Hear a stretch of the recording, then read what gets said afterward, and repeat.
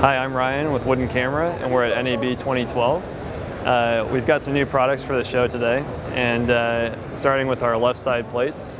These are cheese plates that contour to the left side of the body with the SSD. It spans from our Easy Top X to our Easy Riser. Uh, these are also compatible with uh, the Viewfactor top and bottom plate if you already have that configuration. Uh, on this side of the camera, if I turn this around here, we've got our A-lock, which is a uh, replica of the back of the camera. It's designed so that you can either mount your REDMOTE to it, or if you have your quick back system, you can lock your V-mount on the back or on the side of the camera, and you can charge your REDMOTE uh, while still powering your camera. Uh, and underneath the the A-lock here is our bolt-on Arri style rosette, shoulder rig base package. It comes with a Arri style dovetail, our shoulder pad, our crossbar, and two uh, rosette handles. Uh, they are available in rubber, black leather, and brown leather. Uh, part of the neat feature of uh, this system is that it's completely modular, so uh, you can take this crossbar and attach it to a rod clamp if you want the handles based on, on rods rather than attached directly to the dovetail. Uh, but the way this works is you'll just uh, take your camera off a 2060 uh, dovetail on your tripod and just slide it on here, lock it down, and then pick it up and you're ready to go. Uh, another optional feature is uh, this A-lock, which is on the back of the, the shoulder pad here.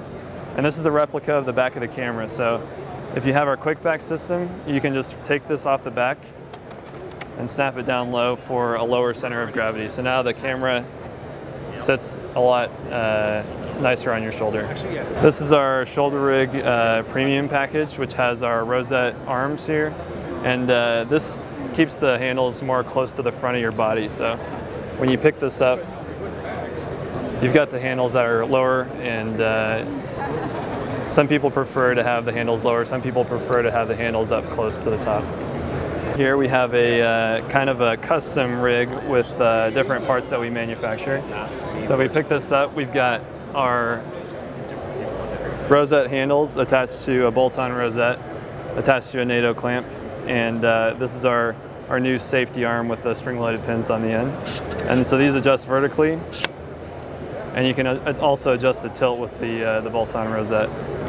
And so this version sits lower on your shoulder if you're a, a taller operator and you want the, the lens lower in your chest.